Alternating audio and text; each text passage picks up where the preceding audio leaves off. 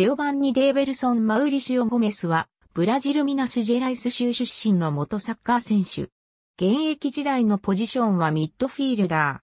ー。通称ジェオバンニ。ジオバンニこと、ジオバンニ・シューバジ・オリベーラとは別人。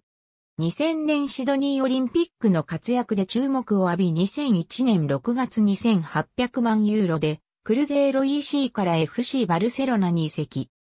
シーズン序盤は出番も多く良いスタートを切ったジェオバンニだったが、ルイス・エンリケやガブリラとのポジション争いに敗れ、次第に出場機会が激減。2003年 SL ベンフィカへレンタル移籍し、翌年にはベンフィカへ完全移籍。2004年にポルトガルカップを獲得し、2005年には11年ぶりのベンフィカのリーグ優勝、2006年のチャンピオンズリーグベスト8進出に大きく貢献した。ベンフィカとの契約が切れた2006年アーセナル、エバートンからオファーが届くが、結局は古巣のクルゼーロに戻ることとなる。しかし、1年後にもう一度自分の力を試すべくプレミアリーグへの挑戦を試み、ポーツマス FC のテストに参加していたが、マンチェスターシティ FC のスベン・ゴラン・エリクソン監督の目に留まり、シティへの加入が決まった。